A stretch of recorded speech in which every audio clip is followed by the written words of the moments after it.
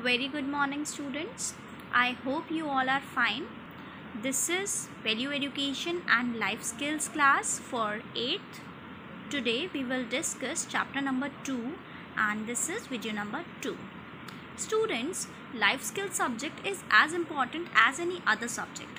So keep watching the videos of life skill on regular basis. Do not skip them, right? They are going to help you a lot in handling the practical situation which you face in your life. All right? So let's get started.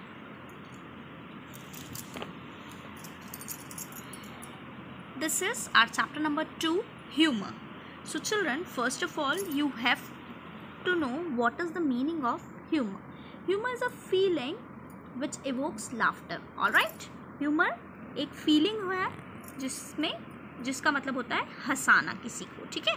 Humour should not only make other laugh but also have a positive value at उसका मतलब सिर्फ़ यही नहीं होता है कि हमें लोगों को हंसाना है, बल्कि एक पॉजिटिव वैल्यू भी होनी चाहिए हमारे।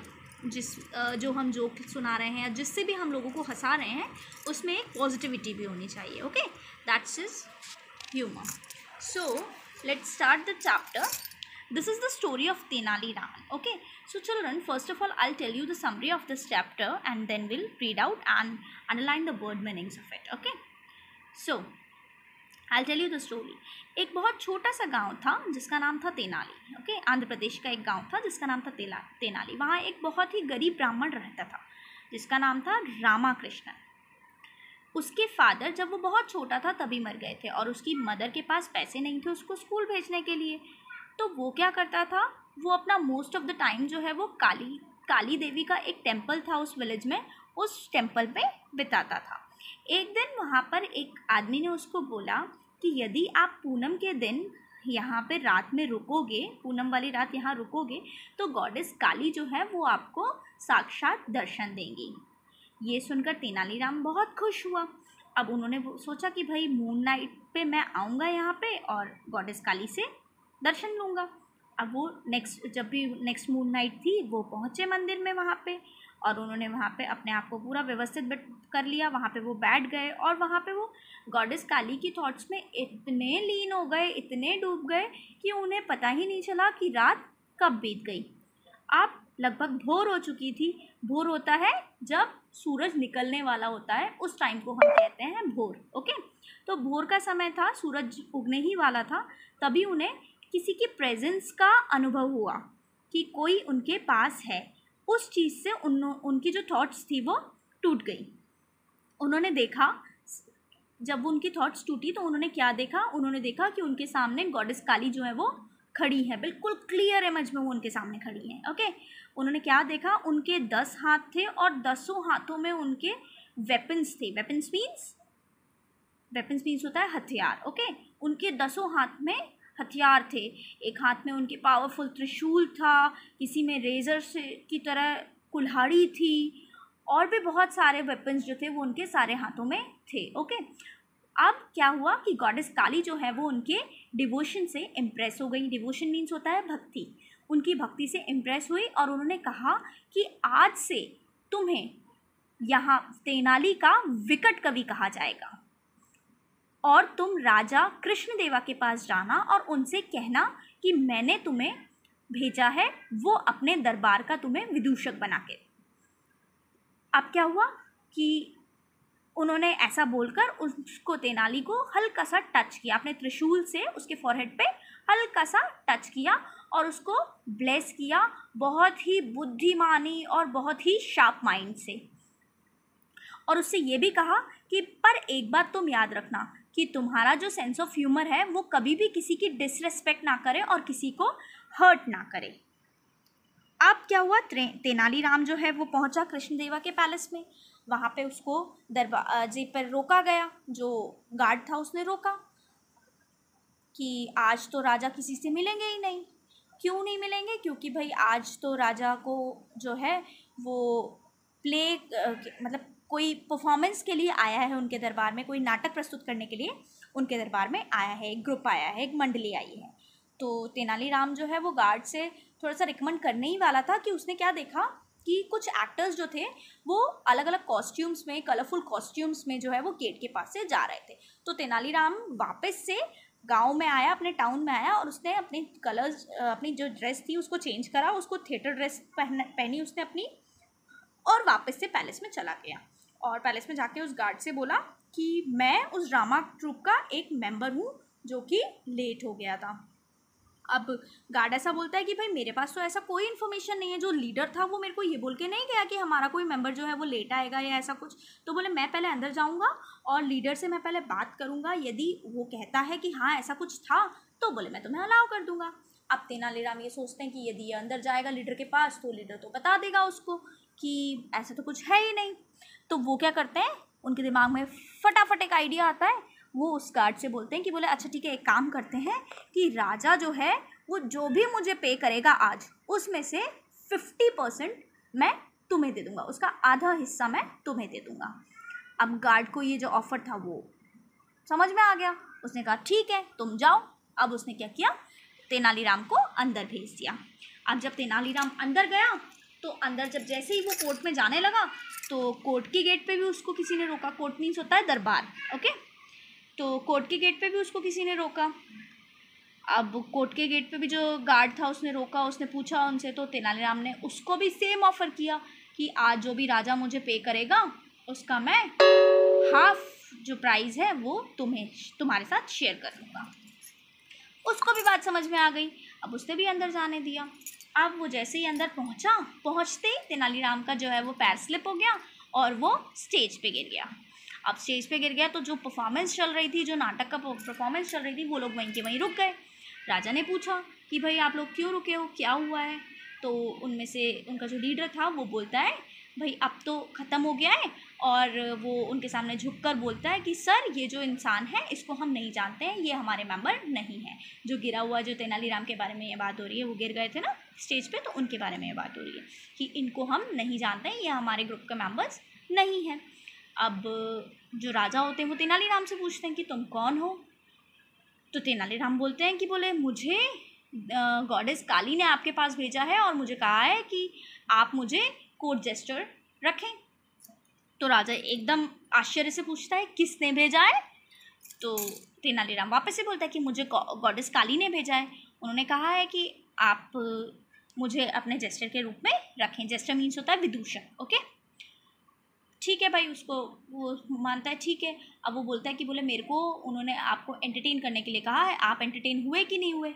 तो बोलता है, बोले हाँ मैं एंटरटेन तो हो गया हूँ। अब वो क्या करता है, राजा उसको बोलता है, अपने जो उसके जो सेवक होते हैं, उनसे बोलता है कि इसको हंड्रेड सिक्के जो है हंड्रेड कॉइन्स जो हैं, वो दे दिए जाए। ठीक है, अब वो हंड्रेड कॉइन्स लेके आ जाता है। हंड्रेड कॉइन्स वो ले लेता है। तेनालीराम को दे देता है। अब तेनालीराम उनको बोलता है कि बोले राजा से बोलता है सर मुझे पर एक चीज़ आपसे और बात करनी है कि आ, मैंने जो यहाँ आपके जो दो गार्ड्स हैं उनसे प्रॉमिस किया था कि आप जो भी आज मुझे पे करेंगे उसका मैं फिफ्टी परसेंट आपको पे कर दूँगा। तो वो जो फिफ्टी परसेंट होता है वो पहले वाले गार्ड को दे देता है और फिफ्टी परसेंट जो है वो दूसरे वाले गार्ड को दे देता है। तो इस हिसाब से तेनालीराम के पास तो कुछ बचता ही नहीं है। पर उसकी ईमानदारी और ये चीज़ देख के राजा बहुत खुश होता है। और उसकी ईमानदारी के साथ साथ राजा को उसके जो गार्ड्स होते हैं, उनकी ग्रीडीनेस भी पता लग जाती है कि ये कितने ग्रीडी हैं कि इन्होंने लालच में किसी को भी ऐसे अंदर आने दिया। ओके ये चीज़ें भी पता लग जाती हैं। तो फिर क्या होता है कि है ना, उसके हाथ तो कुछ नहीं आता है, तेनालीराम के हाथ कुछ नहीं आता है, पर जो राजा होता है वो उसको अपॉइंट कर लेता है एज अ जेस्टर। ठीक है? तो ये थी एक स्टोरी अपनी, और इससे क्या होता है कि जेस्टर खाली वही नहीं होता है इंसान, जो कि अपने जोक्स या ह्यूमर फैलाए। पर तेनालीराम जो थे, वो एक जेस्टर ही नहीं, उसके साथ साथ वो एक मिनिस्टर भी बने उस कोर्ट के, वो पढ़े लिखे नहीं थे, उन्होंने अपनी आप पढ़ना और लिखना सीखा और एडमिनिस्ट्रेशन के स्किल्स सीखे और अपने टैलेंट से अपने ह्यूमर से वो लोगों की वहाँ पे जो लोग रहते थे उनकी हेल्प करने लगे। ठीक है? So this is the story so now I am reading this story and you have to underline the hard words okay in a tiny village in Andhra Pradesh called Tenali. They, there lived a poor Brahmin youth by the name of Ramakrishna. His father had died when he was very young and his mother had not had enough money to send him to school. So Ramakrishnan grew up spending most of the time at the Kalika Devi temple in the village. One day, a holy man told Ramakrishna that if he stayed in the temple although the night or during the full moon, goddess Kali would manifest herself before him. On the following full, full moon night, Ramakrishnan went to the temple and made himself comfortable. As he sat, he became so involved in his thoughts about the goddess that he didn't realize when the night passed.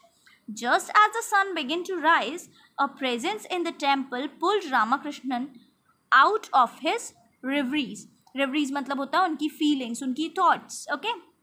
Underline करके आप meaning लिख लेना. He looked up to see goddess Kali standing before him, glaring at him. Glaring means clear, बिल्कुल clear view था. In her ten hands, she held weapons of death including a mighty trident Mighty trident मतलब powerful trishul And a razor sharp marchit. Marchit means kulhada. Goddess Kali, impressed by the devotion of Ramakrishna, replied, From today you will be known as Vikat Kavi, जिसको कहते हैं gesture of Tenali. Go to Raja Krishna Deva and tell him I sent you to be his court jester. Then she gently touched her trident to Ramakrishna's head and said, I bless you with brilliance of mind and sharp wit. Sharp wit means intelligence. But remember, you can use these only to help people. Never use your sense of humor to dishonor the innocent or to hurt the vulnerable. When Tenali Rama arrived at Krishnadeva's palace, he was stopped at the gates by security guards. That day, the king was not meeting visitors because he had invited a famous troupe, troupe means a group, okay, of actors to perform a play for him. As Tenali Rama stood pleading with the guard, pleading means किसी को recommendation करना किसी के लिए recommendation करना सिफारिश करना he saw some actors in costume walked in through the gates. Tenali Ram went back to into town and changed into a colorful uh, theatrical outfit. Then he returned to the palace and told the guard he was a member of the drama troupe and was running late. No, I cannot let you through. The guard said, The leader of the troop left me no instructions that you would come late. Let me go inside and I will return with the leader's instruction. The guard shook his hand.